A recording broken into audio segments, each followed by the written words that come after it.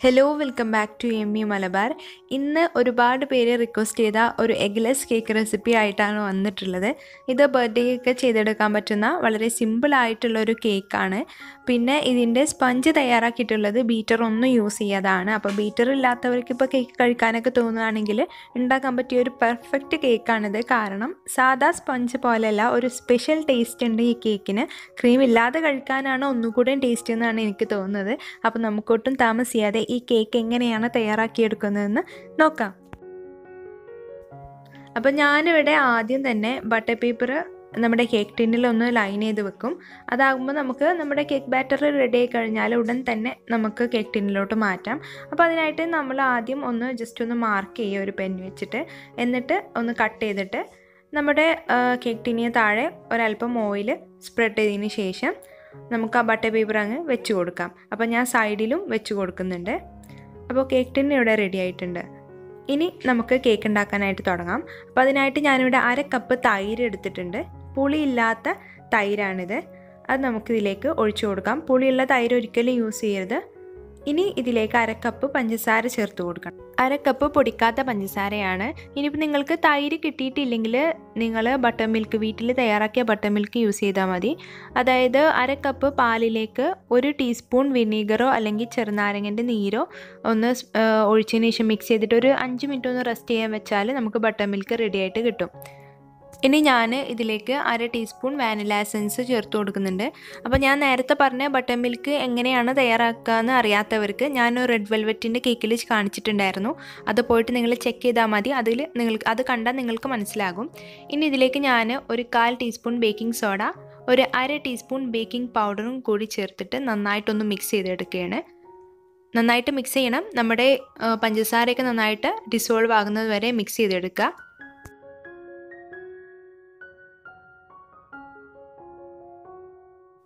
അപ്പോൾ പഞ്ചസാരയും തൈരും എല്ലാം നന്നായിട്ട് യോജിച്ചിട്ടുണ്ട്. ഇനി നമുക്ക് ഇതിലേക്ക് ഓയിൽ ചേർത്ത് കൊടുക്കണം. കാൽ കപ്പ് ഓയിൽ ഞാൻ ചേർത്ത് കൊടുക്കുന്നുണ്ട്. സൺഫ്ലവർ ഓയിൽ അല്ലെങ്കിൽ ഏതെങ്കിലും വെജിറ്റബിൾ ഓയിലോ അല്ലെങ്കിൽ ബട്ടർ മെൽറ്റ് ചെയ്ത് ചേർത്താലും മതി കാൽ കപ്പ് ഓയിൽ ചേർത്ത് കൊടുത്തതിന് ശേഷം നമ്മൾ ഒരുപാട് മിക്സ് ചെയ്തെടുക്കേണ്ട ആവശ്യമില്ല. ജസ്റ്റ് ഒന്ന് മിക്സ് ചെയ്യുക. എന്നിട്ട് ഒരു പത്ത് മിനിറ്റ് ഇതൊന്ന് റെസ്റ്റ് ചെയ്യാൻ വേണ്ടി മാറ്റി വെക്കാം ഇനി പത്ത് മിനിറ്റ് ശേഷം നമുക്കിതിലേക്ക് ഡ്രൈ ഇൻഗ്രീഡിയന്റ് ചേർത്ത് കൊടുക്കാം. അപ്പോൾ ഇതാ പത്ത് മിനിറ്റ് കഴിഞ്ഞിട്ടുണ്ട്. ഇനി ഞാൻ ഇതിലേക്ക് ഒരു കപ്പ് മൈദ ചേർത്ത് കൊടുക്കുന്നുണ്ട്.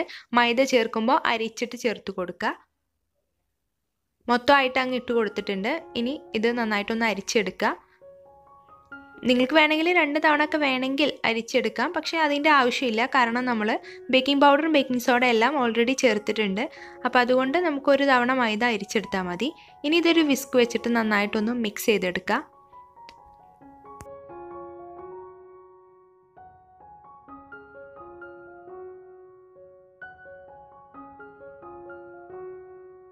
കേക്കിന്റെ ബാറ്റർ ഇവിടെ ആയിട്ടുണ്ട്. ഇനി നമുക്കിത് കേക്ക് ടിന്നിലോട്ട് മാറ്റണം.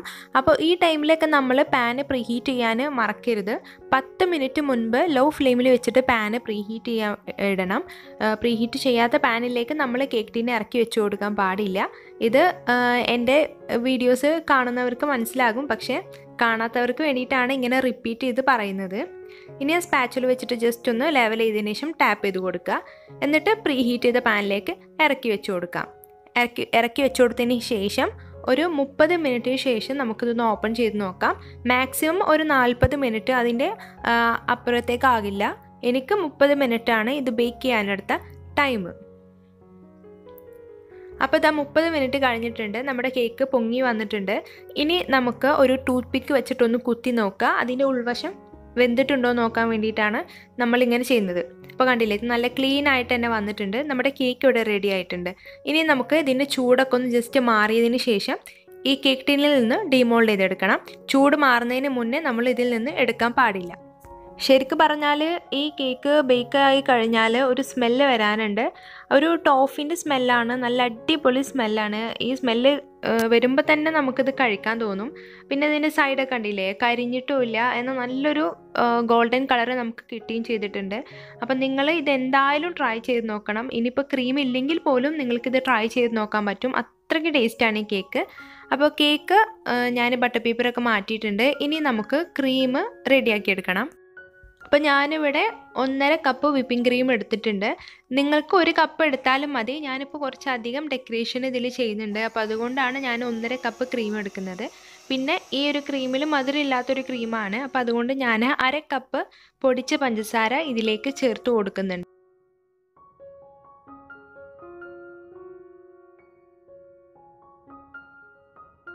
അപ്പോൾ നമ്മുടെ ക്രീം ഇതാ നന്നായിട്ട് സ്റ്റിഫായിട്ട് വന്നിട്ടുണ്ട്. ഇനി നമുക്ക് കേക്കൊക്കെ ഒന്ന് അസംബിൾ ചെയ്തെടുക്കാം. അപ്പോൾ അതിനായിട്ട് ഫസ്റ്റ് ലെയർ കേക്ക് വെച്ച് കൊടുത്തിട്ടുണ്ട്. അപ്പോൾ ഇതിന്റെ താഴ്ഭാഗമൊക്കെ ഒന്ന് പൊട്ടിപ്പോയിട്ടുണ്ട്. അത് നമ്മൾ ഐസിങ് ചെയ്തെടുക്കുമ്പോൾ അങ്ങ് ശരിയായിക്കോളും. പിന്നെ എന്താ ബാക്കി രണ്ട് ലെയറും ഇവിടെ ഉണ്ട്. അപ്പോൾ ആദ്യം കേക്ക് ബോർഡിൽ ഒരല്പം ക്രീം ആക്കി കൊടുക്കുക. എന്നിട്ടാണ് ഫസ്റ്റ് ലെയർ വെച്ചിട്ടുള്ളത്.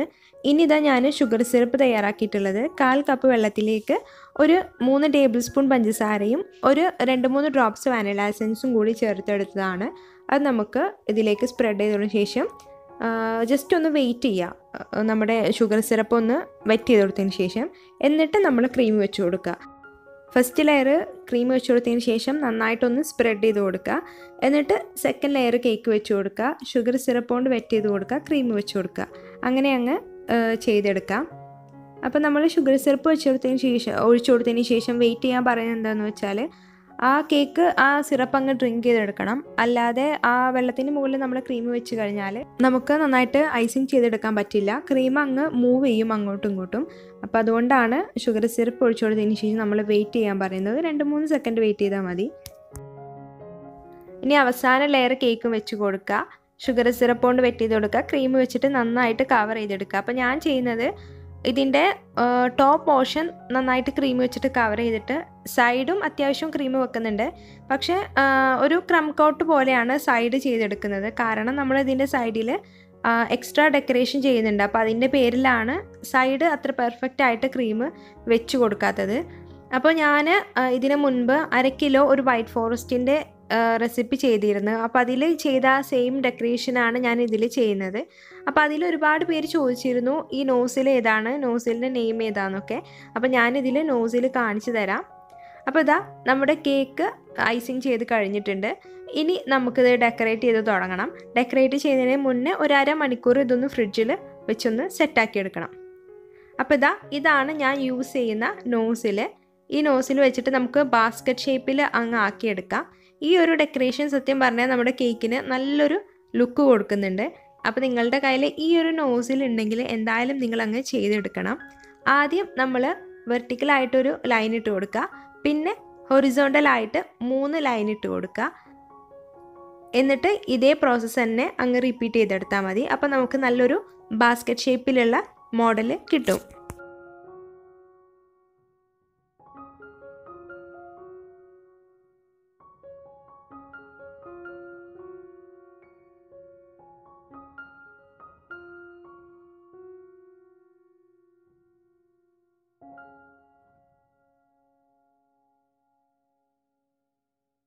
സൈഡൊക്കെ ഡെക്കറേറ്റ് ചെയ്തതിന് ശേഷം ഞാൻ ഇതിന്റെ മുകളിലായിട്ട് ഒരു ടൂത്ത് പിക്ക് വെച്ചിട്ടൊന്ന് ലൈൻ ചെയ്ത് കൊടുക്കുന്നുണ്ട്.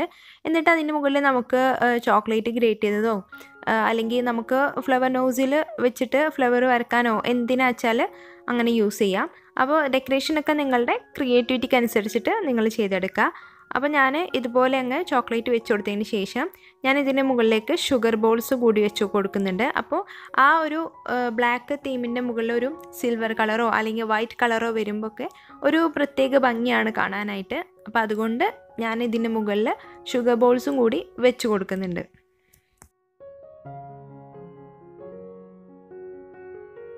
ഇനി നമുക്ക് സൈഡിലൊരു ബോർഡർ വരച്ചു കൊടുക്കാം. അതേ സെയിം നോസിൽ വെച്ചിട്ടാണ് ഞാനിങ്ങനെ ചെയ്തെടുക്കുന്നത്.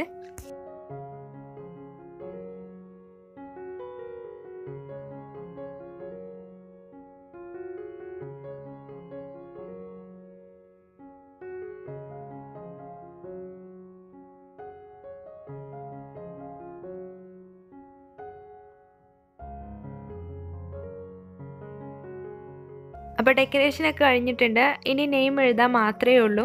അപ്പോൾ ഞാൻ ഈ കേക്ക് കട്ട് ചെയ്ത് കാണിക്കുന്നില്ല. ഇത് ഞാൻ വേറെ ഒരാൾക്ക് വേണ്ടിയിട്ട് തയ്യാറാക്കിയെടുത്തതാണ് അപ്പോൾ ഇത്രയേ ഉള്ളൂ. നിങ്ങൾ ഒരുപാട് പേര് റിക്വസ്റ്റ് ചെയ്ത ഒരു കേക്ക് വീഡിയോ ആണിത്. അപ്പോൾ എല്ലാവരും ഇത് ട്രൈ ചെയ്ത് നോക്കണം. നല്ല ടേസ്റ്റാണ് ഈ കേക്ക് കഴിക്കാനായിട്ട്. അപ്പോൾ എല്ലാവർക്കും ഇന്നത്തെ ഈ വീഡിയോ ഇഷ്ടമായി എന്ന് വിശ്വസിക്കുന്നു.